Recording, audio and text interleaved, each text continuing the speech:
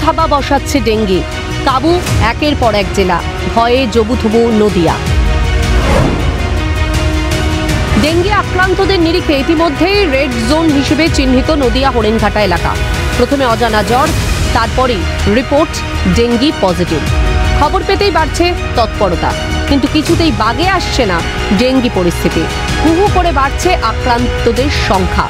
তার উপর চিকিৎসা করাতে গিয়ে হিমশিম খেতে হচ্ছে রোগী পরিজনদের। কোথাও বেড নেই তো কোথাও প্রশ্নের মুখে হাসপাতালের পরিকাঠামো।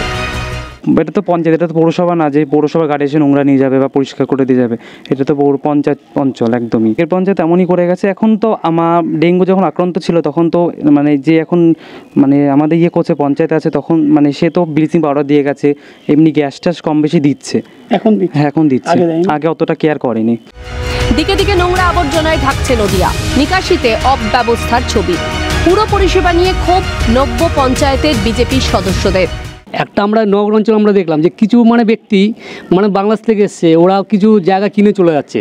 যে জায়গাটা কিনে চলে যাচ্ছে পাঁচ কাটা দশ কাটার মধ্যে সেটা কিন্তু জঙ্গলে পরিণত হচ্ছে। পরিস্থিতি খুবই খারাপ হাবড়াও খারাপ।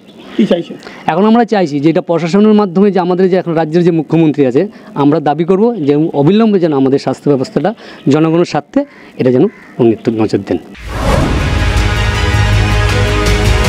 আক্রান্তদের নিরিখে শীর্ষে থাকলেও নদিয়া, কৃষ্ণনগর পুরো এলাকায় ডেঙ্গির দাপট খানিকটা নিয়ন্ত্রণে। কিন্তু কৃষ্ণনগর হাসপাতালের চিত্রটা ক্রমশই চিন্তা বাড়াচ্ছে এলাকাবাসী ও রোগী পরিজনদের। জমা জলে ডেঙ্গির লার্ভা চাষ হওয়ার মতো পরিস্থিতি। নিকাশি ব্যবস্থার বেহাল ছবি ধরা পড়ল সিএনএর ক্যামেরায়। এত কিছুর পরেও কি একটু তৎপর হওয়া যাচ্ছে না? সচেতন করলেই কি সব দায় এড়ানো সম্ভব? নদিয়া থেকে সুবীর দাস ও Tanmoy Bhattacharya report, Calcutta news.